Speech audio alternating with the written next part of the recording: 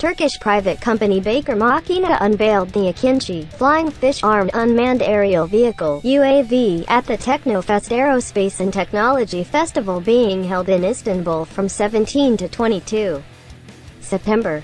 The Anatolian News Agency reported on the 18th of September. The Hurriyet newspaper quoted Selçuk Bayraktar, technical director of Baykar Makina, on the 19th of September as saying an Akinci test flight is planned for October and the UAV's engines are to be co-produced with Ukraine and Turkey. The Ukrainian turboprop engine was tested on the Akinci in early September,